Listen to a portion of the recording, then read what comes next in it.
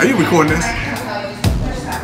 Hey, good morning, everyone. Uh, welcome back to my YouTube channel. So, as most of you know, if you've been watching me for the longest time here, and I, when I say longest, about two months now.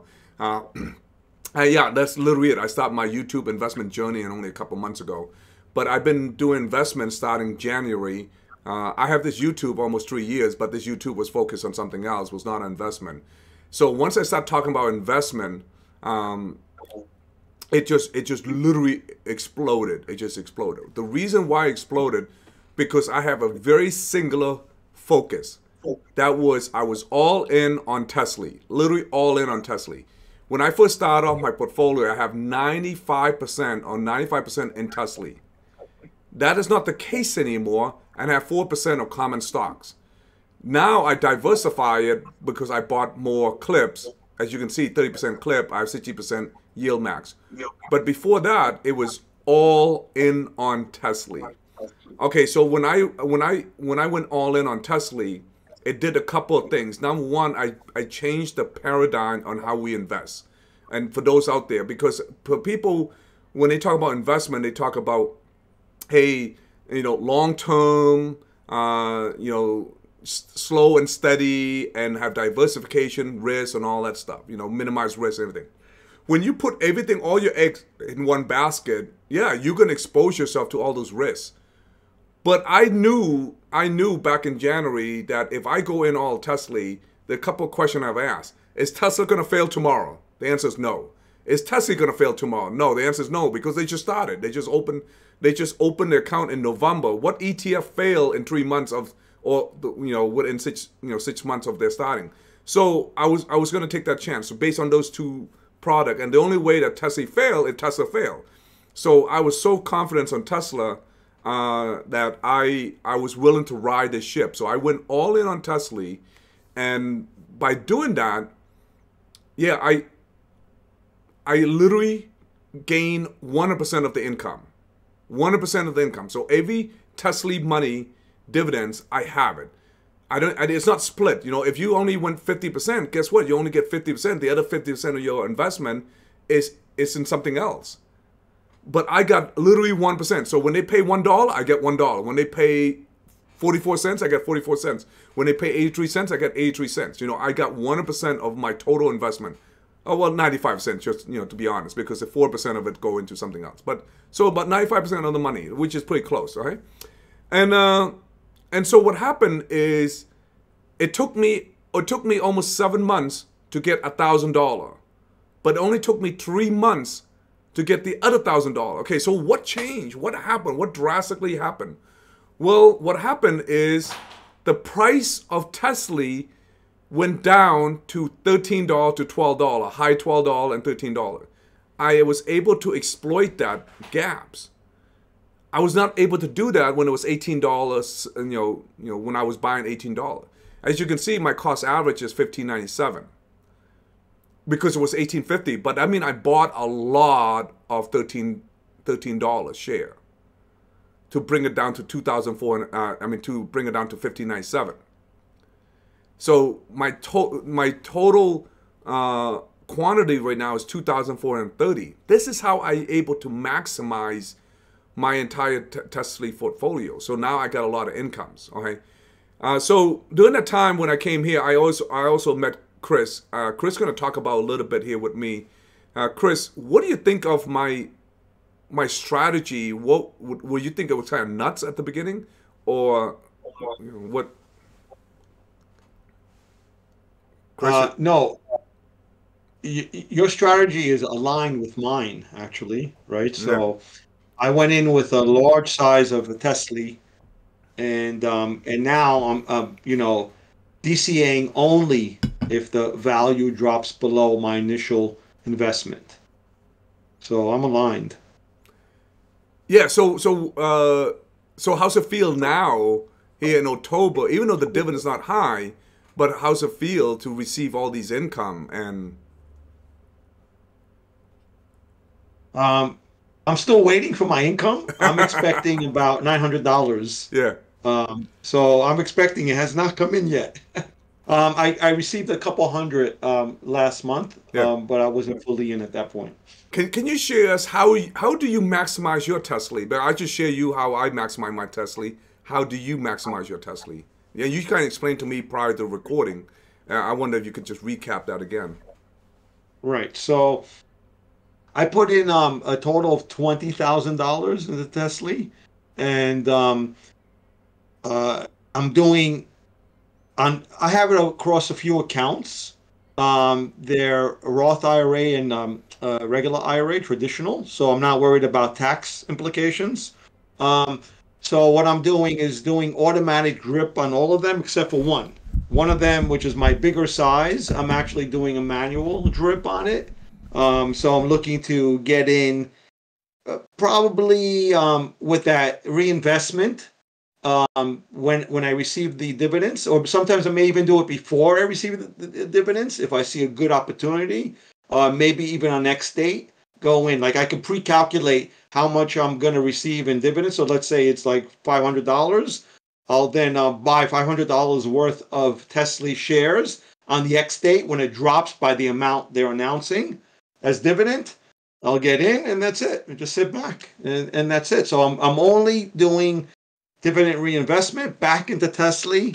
And if the value of my original investment drops below the 20,000, then I would supplement it with, uh, say it drops a $1,000 below that, I would supp- supplement it with a $1,000. I would buy that much worth of Tesla shares. And, and, and, and then every month I'll check if that's the case. And if it's not, I don't do any DCA. Yeah, so my DCA method is a little bit different from his. I I continue to buy down as long as the price is lower than my average. And so my average was 1850. So think about it, anything lower, I just keep buying down. So uh, at some point, it's going to get pretty close, you know, uh, get pretty close. So, but because I have so many share, it take a long time to DCA the only way to DCA 2,430 from 1850 down, you got to spend like thousands of share. Well, essentially, you have to double. Uh, if you're gonna bring, like, I'll, I'll do the math here for you, so this way you can understand. Let me let me open the calculator. All right, so if the price, um, my current price right now is 15.97. So 15.97. Chris, can you see the the uh, screen also? Yes, I see the calculator. Yes. All right, and the current price is thirteen sixty eight. So fifteen ninety seven is my my average, my current my DCA average right now, and thirteen dollar and and sixty eight cents is the current price of the stock. So that's twenty nine sixty five. If you add those two together, divide by two, that's fourteen eighty two. So if I buy the current price right now the best I can do for one share bring down to 1482, which is good. But I have 2,400, you know, I have a lot of share. So that means I, in order to bring the whole things uh, down to 14, um, I just forgot the number, to bring $14.82, I have to spend 2,004, I have to buy 2,430 share of again, you know, so essentially I have to double that amount just to bring the DCA down. So so it's going to take a while. It's going to take me a couple years, essentially, what I'm going to do because I'm essentially doubling my portfolio. Uh, but what I'm going to do is I'm only going to buy it at thirteen dollars. So if if the price is more than fourteen dollars, I'm going to stop buying it. I'll, I'll, spend money on something else. Oh, it's actually not even fourteen dollars. It's thirteen fifty. So if it's below thirteen fifty, I will buy it. If it's higher than thirteen fifty, I'm just going to stop buying it. Uh, pretty much. Uh, so like right now, thirteen sixty eight. That's you know depending on KraneShare or some other stuff, I'd probably buy it because it's still under 14. But under 14, it's a hard no for me. It's just hard no. 1350, I'm definitely buying it. I'm just going to DCA. That's how I'm going to bring this thing down. Okay, so if you DCA correctly, let me show you a fund that I DCA correctly, which is OARK. OARK, my current price is 1305 $13. $13 and and the current price of the OARK is 1307. So I'm making 2 cents. I'm making a dollar because I have 50 shares. So every time that OARK drop to drop below $13, I'm going to buy more. I'm just to keep buying more, right? And that's that's the best way to DCA. When you DCA correctly, and think about OARK is paying 46% yield. 46% yield. N- nobody's talking about NAV erosion to me on OARK. You know why? Because I don't have a NAV erosion. I'm I'm I'm, I'm positive. I'm, I have a dollar. If you DCA correctly, you will have a positive return. Now, obviously, I'm going to continue to get positive return because I started correctly. I did not start correctly with Tesla. What happened is I bought a thousand share at 1850. Already I'm in a negative hole. What I should have done is just DCA DCA down with it. So I'll buy 50 share, 50 share, 50 share, whatever, you know, made 20 share, 100 share here, 30 share there, instead of just throwing a thousand share all at once at, at such a high price. Um, I didn't know how to buy. That was my thing. I, I just want to own Tesla. I did not know how to buy. I didn't know buying on the dip formula. I didn't know all these rules. So that was my my critical uh, critical mistake. But that's okay. I I, le- I learned from it. Uh, I mean, this is a good mistake to have because I have 2,430 share. I could have get 2,500 share or 2,600 share, but I, I, I just didn't know how to DCA. So that that was my problem. But now I know how to do it, so I'm not going to worry about it in the future. Uh, so, hey guys, what do you think? Uh, Bud up, you got your mic off. Uh, do you want to say something? I was just coming in to about this Tesla payment. I I still didn't get my dividend from that. I was wondering if you guys knew what happened. Oh, you still gonna? Oh no, it's just dependent on your brokerage. Oh, I think TD Ameritrade um, uh, pays it out like around eight p.m. I think. Yeah, so but definitely TD Ameritrade and Charles Schwab they're one together now, yeah. and yeah, yeah. so we're not gonna get paid until essentially tomorrow. Um, understood, but understood. but if you have Fidelity, you got paid Saturday. Just think about Saturday. Last, yeah, I know. One time on TD Ameritrade, I got paid on a Saturday. I think last month I got paid on a Saturday. Yeah. I was, um, but okay. As long as I was just was worried. I not not worried, but I was just like, what happened? I was I was planning on buying a little bit today. Yeah, yeah. Today. So well, I, I'm I'm kind of I'm kind of maxed out. So I have I have negative two thousand dollar in margin. So I I max out my margin. So I'm, once I get paid, my margin to come down. I can buy something else again, and and unfortunately, um, yeah. So you maxed out your margin? I don't know. I thought. Wait, does Fidelity not do like TD Ameritrade? TD Ameritrade usually they gave me a what is it called? They gave me a hundred percent match on my stock buying power. So I've got about thirty k, and they gave me thirty k of margin. How do you only have uh, uh, because because are, you in a cash account? Are, are you you're not in like a um, you're not in a uh, IRA, right? Because they won't give you any margin on IRA. No, no, mainly um, because I only have four percent four percent of my portfolio in common stock. The rest of them, I mean, with majority my ninety percent of ninety five percent of my portfolio in stocks in stocks that have one percent maintenance. So yield max, mm-hmm. clip. That's strange. I guess TD Ameritrade does margin differently because I agree. Uh, well, do you have ninety five percent? Do you have nine percent of your portfolio in? I have about. I only have two stocks right now: Tesla and SVOL, and I've got twenty five thousand in Tesla, and I've got twelve thousand in SVOL. Well, yeah, the, the, your SVOL. They gave me a hundred percent match. They gave me about a hundred percent match for for uh, what is it called? They gave what? me 100% match for all my stock, so I have a marginable stocking stock buying power of 35,620. Yeah, mainly from your SVOL. But that doesn't make any sense. They're not gonna. They're not gonna. They're gonna really give me that much on SVOL. Yeah, because Tesla is one percent maintenance. Well, I guess that's for you though. I don't. I don't think that's for me. Well, boss. well, I, have Charles Schwab. If Charles Schwab using the same rule for TD America, TD Ameritrade. They own that now, so I don't know if the the made I don't know if they implement. Well, this was this my account is uh, well okay. You make a good point because my account was made before I my before they merged. So okay. maybe it's just a holdover from their. Yeah, yeah, we're, we're getting like transferred over um, in the near future. Why didn't you click yeah. on Tesla and t- take a look at their maintenance?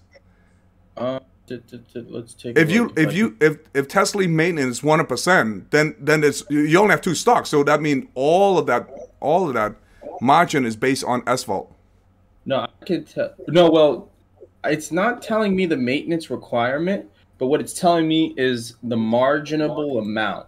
So I on Tesla and on my position in Tesla, I have a marginable amount of ten thousand six hundred and seventy one, and then on my position in, but see, still that adds up to twenty three thousand though. No, they give you like one to four or one to three or whatever. So if you if you have ten thousand dollars, you you're gonna have four thousand dollar.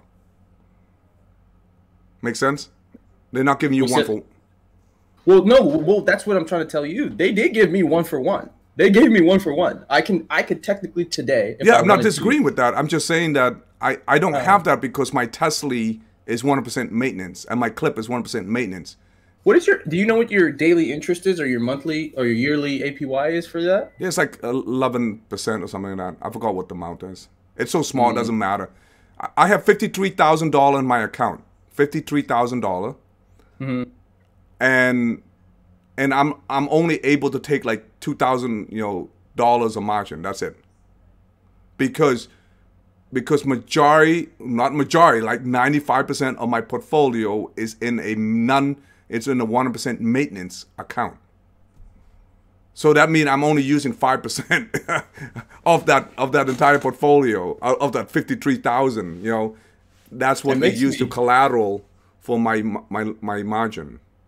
It makes me not want to move over to Charles Schwab because right now, if I was like, you know, one of those crazy people, they gave me a hundred thousand dollars worth of day trading power, so I could day trade with a hundred k. Oh well, yeah, yeah, yeah. Day trading, yes, I got a lot too but I don't oh, have okay. that. I, I, don't. I don't do day trade, so it doesn't matter. Me neither. Yeah. So. But we're talking about hmm. margin. My margin's only two thousand. Yeah, I don't know. That's interesting. It makes me want. I wanted to move over to. You ever heard of uh, Interactive Broker? I like them. They have such low interest, but you need over. You need. I think you need over hundred k to qualify. They have like strict qualifications. I, I don't. I don't have any problem with Charles Schwab. I mean, they they, they have every funds that's out there I, yeah. I never run into an issue that there's, there's they don't track any fund. Not like Merrill Lynch or some other company. They don't do. They don't even trade Tesla. They don't even. But eleven percent is a lot. Yeah, they don't allow it. Yeah, no. Yeah, it's not allowed in Merrill Lynch. Um, yeah, but it's so small. I like. I, I like. I paid less than less than a dollar. What do you mean?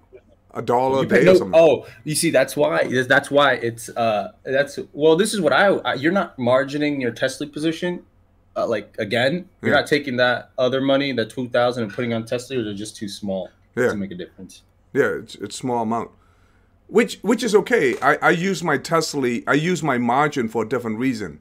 I use mm. my margin to buy when the price price opportunity drop. Mm. So like put more money into yeah. So when when like... when Tesla dropped to twelve dollar, I'm not I'm not going to be able to buy it until I get paid or until my dividend get paid. Make sense? Yeah. But however, I, that's when I use my margin for. Bam! I just I just I just spent two thousand dollars on it, and then I bought it at twelve dollars something. And then when I get my dividends and I get my my monthly contribution, it will just offset that margin and pay back. That makes sense. That actually is a good idea. I might incorporate that. Uh, okay. I mean, there's there's many ways to skin a cat. You don't have to copy it that way. I mean, but yeah, there's many ways to skin a cat. I it, it works for me. Just give me one second. I'll be right back. Yeah. Uh, is anybody else question about uh, Tesla? So because we're we're we're just trying to figure out, you know, the money here and. Uh,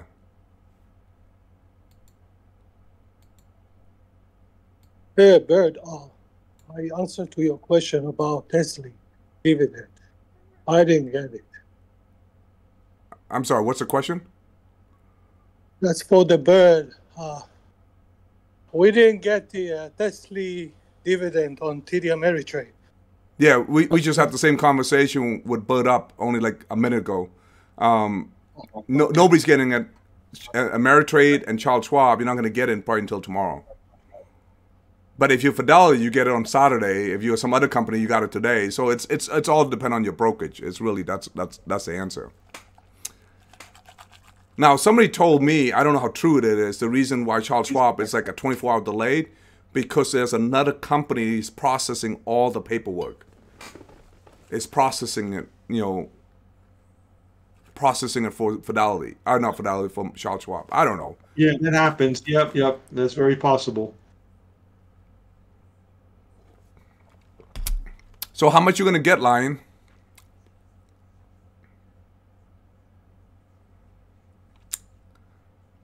Lions, how much you're gonna get?